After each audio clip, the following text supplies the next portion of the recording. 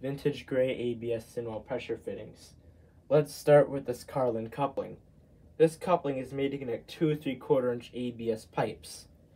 So if you had an existing ABS pipe, you could glue this on and then you could continue on with more ABS. Now when I try a vintage 3 quarter inch ABS bushing, it fits really well. But when I try 3 quarter inch copper tubing size CPVC, it doesn't fit at all. So that tells you this thin wall ABS was thinner than copper tubing size. They don't make the pipe for these fittings anymore, so basically these fittings are useless. I only collect them. You can see right here, it says CP, and that was the Carlon logo. Here's a Carlon fitting that actually has Carlon right above it. And I'm pretty sure I had somebody asking me about that logo in the comments. You can see the other side. This is SWP and that's the part number. And I'm not sure why they stamped this on if you didn't just mold it into the fitting. This fitting is very well made and Carlon was one of the biggest, if not the biggest, plastic pipe manufacturer in the 50s.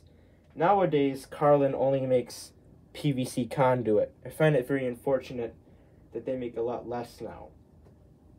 The next fitting is a mystery brand fitting.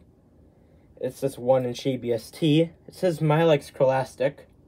Kralastic is just ABS. But Milex, I'm not really sure. Is it a chemical? Is it a company? I don't really know.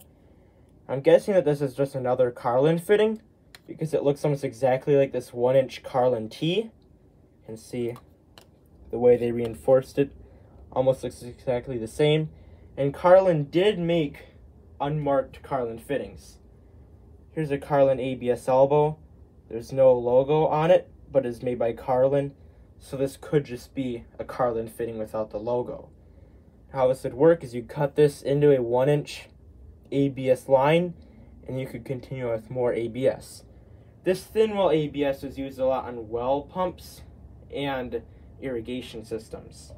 I have another T that has Republic brand ABS pipe glued into it. You can see says Republic right there, and they glued this into the T. It could have been glued in there 50 years ago. It won't come out. It was a very good joint. And I just find that very interesting that, you know, they made these different colors, yet you could still connect them. The next fitting is this one inch by half inch saddle. So you would glue this on to a one inch thin wall ABS pipe, drill a hole in it, and then you could screw in half inch iron pipe size meal threads like that. I'm not sure who this is made by. It has no markings on it. The next fitting is another Milex fitting. You see it says Milex 3 quarter Kralastic. And this also doesn't fit that CPVC. It's just a 3 quarter inch elbow. You glue this onto an ABS pipe and now you can go 90 degrees.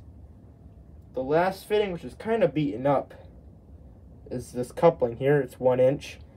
So if you had a one inch pipe, you could glue this on and then you could continue with more one inch pipe.